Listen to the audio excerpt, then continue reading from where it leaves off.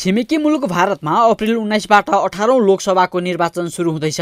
अप्रेल लागेसँगै वात्तै गर्मी बढेको भारतमा चुनावी माहौलले झन तापक्रमलाई बढाइरहेको छ। भारतमा वर्षको सबैभन्दा बढी तातो हुने समय अप्रेल र मेको बिचमा हुन लागेको मतदान अघि निर्वाचनमा सामेल हुने राजनीतिक दलले चुनावी प्रचार प्रसार पनि तीव्र गतिमा गरिरहेका छन्। दुई कार्यकालदेखि भारतमा राज गर्दै आएका प्रधानमन्त्री नरेन्द्र मोदीको पार्टी भारतीय जनता पार्टी भाजपाले चुनावी प्रचार प्रसारमा अनेक हत्कण्डा अप्नाइरहेको छ।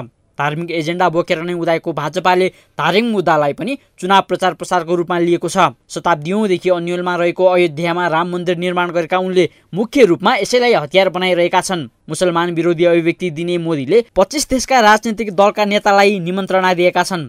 चीन र पाकिस्तान बाहेकका नेपाल अमेरिका सहितका राजनीतिक दललाई आफ्नो चुनावी अभियानको प्रदर्शन गर्न र रणनीति बुझाउन बोलाएका छन्। मोदीले विद्युतीय गाडी टेस्लाका मालिक एलन मस्कलाई समेत आफ्नो प्रचार प्रसारमा सामेल हुन निमन्त्रणा गरेको अन्तर्राष्ट्रिय सञ्चार माध्यमहरूले जनाएका छन्। त्यस्तै भाजपालाई चुनौती दिने तरिकाबाट प्रमुख विपक्षी दल इन्डियन नेसनल काङ्ग्रेस नेतृत्वको गठबन्धन पनि तीव्र रूपमा प्रचार प्रसारमा देखिएको छ। दुई दर्जन पार्टीहरू मिलेर मोदीलाई चुनौती दिन Indian national development inclusive alliance India लागि परेको छ।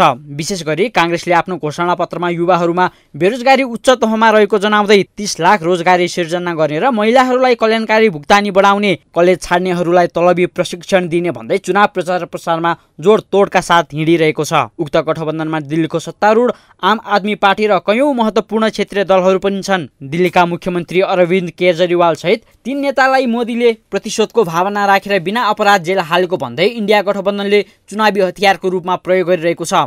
मोदीले भारतलाई निरङ्कुशतातिर लगेको आरोप लगाएको गठबन्धनले आफूहरू शक्तिको आडमा त्यतातिर नढल्किने प्रतिबद्धता व्यक्त गरिरहेका छन्। मोदीको शासनकालमा मुस्लिम अल्पसङ्ख्यकहरू दोस्रो दर्जाको नागरिक भनेको इन्डिया गठबन्धनको आरोप छ।